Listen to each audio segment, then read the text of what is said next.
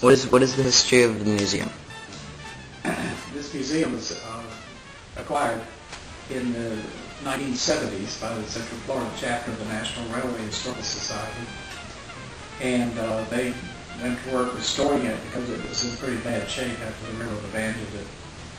Uh, and then they opened it as a museum in the early 1980s. Over the years, it was only open one day a week on Sunday afternoon. So about five years ago, our chapter uh, united with the Winter Garden Heritage Foundation so that we could be open seven days a week. Um, there's a paid host here Monday through Friday, and we staff it with volunteers from the chapter on the weekends. Uh, the building is now owned by the city of Winter Garden in conjunction with our.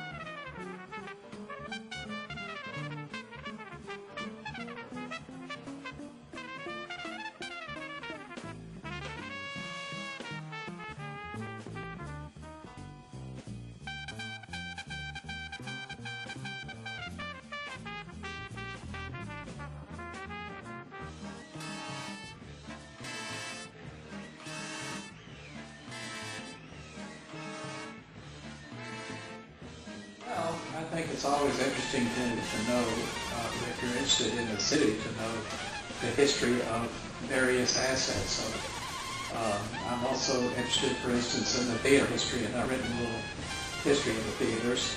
And uh, since we both on the Garden Theater, there's a lot more interest in that. Um, the two uh, museums, Winter Garden is very lucky to have the two original railroad stations still standing and in relatively good shape uh, and they are being preserved by being used as museums. So I think it's uh, those are two aspects of town. I mean, you could concentrate on anything here: the citrus industry, the churches, the uh, businesses, the hotels.